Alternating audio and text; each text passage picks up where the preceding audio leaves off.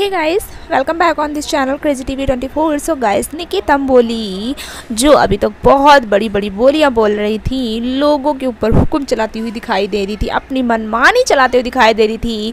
तो अब लगता है उनकी सारी पावर्स छीन ली जाएँगी। जी हाँ बिग बॉस की तरफ़ से आदेश मिला है कि अब जो कंटेस्टेंट हैं, वही तय करेंगे कि निकी तंबोली कन्फर्म्ड रहेंगी या नहीं रहेंगी सीनियर्स की जैसी पावर्स रहेंगी उनके पास या नहीं रहेंगी।